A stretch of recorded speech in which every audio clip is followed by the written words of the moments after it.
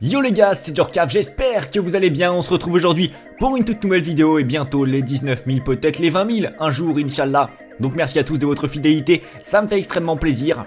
Aussi, je tiens à préciser qu'aujourd'hui, pour cet épisode spécial milieu défensif, on a pris le club de Montpellier. Donc, petite dédicace à mon poteau euh, The Remino 32 ou 33 ou 34 ou 36. 38. Je ne sais plus, mais en tout cas, dédicace à lui. Vous avez sa chaîne dans la description. Bon youtubeur FIFA. Donc, c'est parti pour les milieux défensifs. Alors certes, vous n'allez pas avoir les milieux centres et les milieux offensifs. Ne vous brusquez pas, vos joueurs préférés sont peut-être sur ces autres postes. Tout simplement, par exemple, Tielemans, il est milieu central, pas milieu défensif. Donc vous ne l'aurez pas dans cet épisode.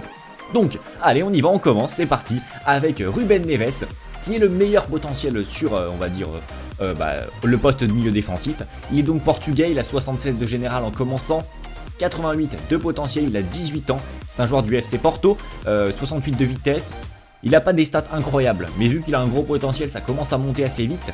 C'est un joueur que j'ai testé pas mal de fois, 3-4 euh, fois dans mes carrières. Il est jamais monté très haut. J'ai jamais eu un Ruben Neves à plus de 85 de général malheureusement. C'est vrai qu'un joueur comme ça, c'est dur à le faire évoluer. Euh, je vous le dis, je vous le conseille pas. Je vous le conseille pas parce qu'il est pas incroyable, vraiment pas. Mais euh, sincèrement, si vous arrivez à le faire monter, surtout qu'il doit valoir 10 millions d'euros pas plus, ça peut être une affaire très rapidement. Ensuite, on enchaîne avec William Carvalho, les gars. Donc, William Carvalho, euh, on aura une très bonne affaire là aussi. Un portugais. Après, c'est vrai, le petit problème, c'est qu'il a 59 en vitesse et 60 en tir. Mais après, c'est vrai que défensivement, c'est un vrai rock. Si vous le mettez tout seul en milieu défensif, tout seul dans un 4-3-3 version 3, je crois, euh, ça peut être une vraie dinguerie. Vraiment. Euh, c'est une vraie tour de contrôle, donc n'hésitez pas à le tester, il a des belles stats en plus en passe et en dribble, c'est un joueur très intéressant, il a 23 ans, il est peut-être un peu vieux, mais il a 88 en potentiel les gars, donc ça très très intéressant, il prend quand même un plus 7, qui est pas négligeable du tout, excusez-moi. Donc voilà, joueur du Sporting que vous quand même avoir pour 40 millions d'euros environ, et c'est un peu cher 40 millions d'euros, je vous le dis. Vous pouvez l'avoir peut-être pour moins cher, 30 millions si vous négociez bien, mais sincèrement ça reste quand même euh, très très cher pour un joueur de 23 ans. On enchaîne avec Sergio Busquets, qui est quand même un joueur que j'ai voulu mettre parce qu'il a quand même 26 ans. Euh, mais 26 ans, il, vaut 40 millions d'euros, hein, comme le petit William Carvalho. Et au final, c'est un très bon potentiel lui aussi. Hein. Vraiment, quand vous regardez, euh, il a 87 de potentiel, donc voilà, il prend un plus 1. Euh, il a des belles stats, il a que 26 ans, donc il y a moyen encore de le faire jouer pas mal d'années au, plus haut niveau, on va dire. Donc sincèrement, si vous avez une très grosse équipe, comme je ne sais pas moi, euh, le Bayern Munich, le Barça, le Real, bah, vous pouvez recruter le Sergio Busquets, il sera directement opérationnel et très très bon. Ensuite, on enchaîne avec Jace, ou Jace, ou Jace, je ne sais pas. En tout cas, c'est un Allemand qui a 21 ans, qui joue à Schalke 04, qui a été transféré de je ne sais quel club, je crois Munich 1960, 1860, truc comme ça, je ne sais plus. En tout cas, c'est un des meilleurs potentiels du jeu à ce poste-là, parce qu'il a 79 de général et 86 de potentiel. Donc voilà, un joueur avec, on va dire, une stat de vitesse plutôt légère, avec 59. C'est pour ça que je vous le conseille pas, les gars, même s'il a un bon potentiel vous savez très bien que moi je vous conseille pas forcément les joueurs très très lents comme lui, sachant que vous pouvez avoir un William Carvalho qui est on va dire peut-être au-dessus et qui a un meilleur potentiel. Je vous conseille quand même William Carvalho. Euh, le Jace il est pas mal mais il vaut très cher, il vient d'arriver donc va falloir attendre un an. Pas forcément une bonne affaire. Vaut mieux tout mettre directement sur un William Carvalho. Ensuite on enchaîne avec euh, Vegel. Vegel, Vegel, Vegel je ne sais pas comment on dit, euh, qui a donc 72 de général et 84 de potentiel. Donc voilà, il a 19 ans, c'est un joueur du Borussia Dortmund qui vient d'arriver lui aussi je crois. Le, Borussia Dortmund est plus enclin à le prêter. Mais c'est vrai que si vous arrivez à le recruter, il a 72 et 84 de potentiel, donc il prend un plus 12. C'est vraiment intéressant que vous avez, on va dire, un petit club. Ça peut vraiment être sympa, ça peut vraiment devenir un vrai, vrai cadre de votre club. Ensuite, après, c'est vrai que euh, il a pas un très très gros physique, mais moi c'est un joueur que j'aime bien, que j'ai trouvé sympathique, que je vous présente, et lui c'est une vraie pépite. Ensuite, on enchaîne avec euh, Grégory Krikoviak, euh, le joueur du, du FC Séville tout simplement. Voilà, le Polonais, qui est un très bon joueur, hein, vraiment. lui, il fait partie de ces joueurs directement efficaces en club. Il a 82 de général pour un 86 de potentiel. Pour moi, c'est clairement, je pense, la, meilleure affaire à faire euh, si vous avez une équipe euh, de milieu de tableau, bah, par exemple telle que, enfin milieu de tableau, euh, on va dire une équipe moyenne, hein, telle que, je ne sais pas moi, Valence, etc., Leverkusen, l'Inter Milan, Naples, etc. C'est des équipes de milieu de tableau, enfin, je dirais pas de milieu de tableau, mais voilà, des équipes moyennes qui sont pas très très fortes, c'est pas non plus le Real, mais c'est pas non plus Arles-Avignon, donc sincèrement, allez-y. voilà, Krikoviak, ça de ces joueurs vraiment très intéressants qui sont bons dès le début du jeu et qui le deviennent encore plus au fur et à mesure.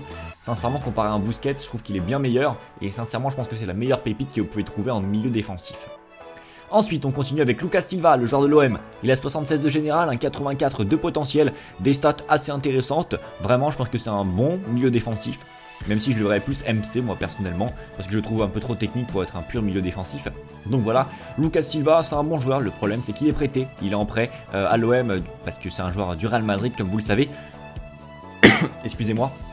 Et donc voilà, euh, Lucas Silva, n'hésitez pas, il a 22 ans, c'est peut-être un peu vieux, sachant qu'en plus, il faut attendre un an, donc 23 ans pour pouvoir le recruter. C'est peut-être un peu gênant, moi je trouve pas que c'est une très très grosse pépite, le petit Lucas Silva. On enchaîne avec euh, Geoffrey Condolbia, alors non, avec, euh, excusez-moi, Eric Dyer. Eric Dyer qui est un très très très bon joueur, vraiment.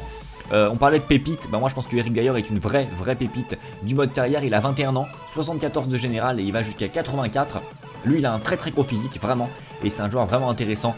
Une pure tour de contrôle, un joueur qui commence très bas et qui monte très haut, il vaut 9 millions d'euros, donc c'est vraiment donné.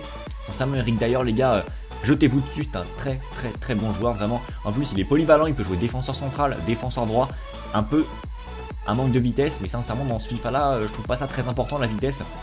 Surtout pour un poste de milieu défensif ou de défenseur central. On enchaîne avec Geoffrey Kondogbia, voilà le joueur euh, récemment arrivé euh, de Monaco à l'Inter de Milan. Donc voilà, un, bon joueur aussi dans le jeu. Je vous présente parce qu'il a quand même un 84 de potentiel. Après, c'est vrai que c'est un 78 euh, de général pour lui. Il a quand même un plus 6 dans sa carrière, c'est pas dégueu. Je vous le dis parce que c'est un joueur très technique, vraiment bon physiquement, défensivement, il est plutôt rapide.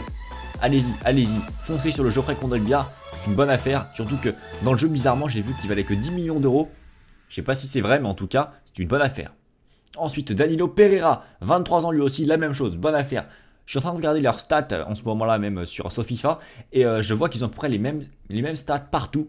Légèrement un peu mieux pour Kondogbia, mais sincèrement, Danilo Pereira, très bon aussi, un peu plus défensif que le Kondogbia, ça dépend. Je pense que c'est deux profils vraiment, vraiment similaires.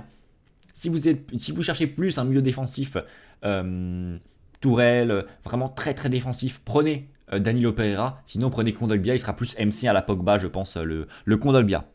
Et ensuite, on enchaîne avec Alan. Alan qui a un milieu vraiment qui, procure un plus 3. Mais j'ai vraiment trouvé qu'il avait des stats intéressantes, qu'il avait que 24 ans. C'est un joueur qu'on voit pas souvent et pourtant il a des belles stats. Vraiment, n'hésitez pas à recruter le Alan. Il a des belles stats dans le jeu. Il vaut un peu cher, les gars, je vous conçois bien. C'est pas forcément une pépite. Mais sincèrement, il a un gros général dès le début. Et il monte quand même à 84, ce qui est loin d'être négligeable. Il a que 24 ans, les gars, donc allez-y, sans hésiter. Ensuite, on enchaîne avec, avec Joao Maria Palinha Calves. Dur à dire, un peu long, mais c'est les Portugais, qu'est-ce que vous voulez? Un joueur du Sporting qui est prêté à euh, je ne sais pas quel club, à Moreirense FC. Donc voilà.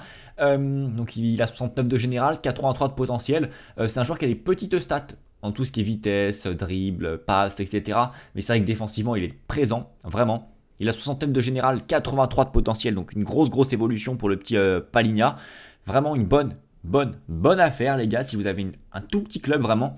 Un club de la hauteur de, je ne sais pas moi, peut-être euh, euh, Créteil par exemple, qui est un petit club de Ligue 2, bah, n'hésitez pas à prendre le Palina, il monte très très bien et très très haut les gars, donc voilà, c'est la petite pépite de l'épisode. On enchaîne, voilà, après il y a plein de petites pépites hein, que je vous ai pas mis, mais j'ai choisi quand même euh, Bezic, Mohamed Bezic, voilà, parce qu'il a des belles stats dans le jeu, vraiment.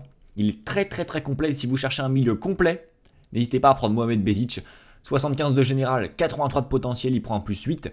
Et sincèrement, le joueur d'Everton, je soupçonnais pas qu'il pouvait être aussi bon parce qu'il est vraiment très complet. Après, il y a plein d'autres joueurs, si je vous les conseiller. Il y a Gabriel, Saul, Emre Can, Jorginho. Il y en a beaucoup, vraiment beaucoup. Mais sincèrement, le petit Bézic, j'ai trouvé vraiment au-dessus du lot comparé aux autres. Il est polyvalent, il a des belles stats. Vraiment, n'hésitez pas à le tester. Ça peut être une vraie surprise si vous avez une équipe de milieu de tableau. Et ensuite, on finit avec Nandez, les gars. Nandez, qui est un joueur que je voulais vous présenter parce qu'il est agent libre dès le début du jeu et il a 67 de général pour 82 de potentiel. Donc autant vous dire que vous avez juste son salaire à payer. Donc là, je peux pas vous faire mieux, les gars. Je vous donne un joueur de 82 de général gratuitement. Et à savoir que quand vous avez un tout petit club et que vous commencez, un joueur comme ça, de ce niveau-là, on crache pas dessus, les gars. Donc voilà, c'était Joe. J'espère que ça vous a plu. Si ça vous a plu, n'hésitez pas à poser un petit like. C'était Joe.